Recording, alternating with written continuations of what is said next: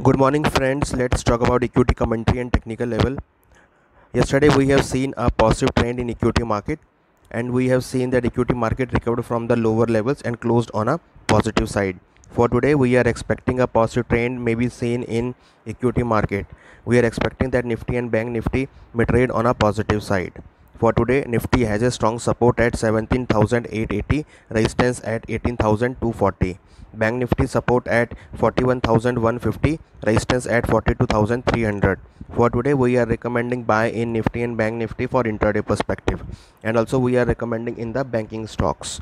Now let's talk about the USD INR. Yesterday, USD INR closed at 79.63. It has a strong support at 79.50, resistance at 79.80.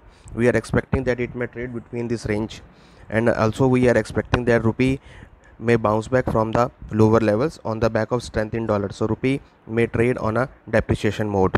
We hope that you will be benefited from this commentary. Thank you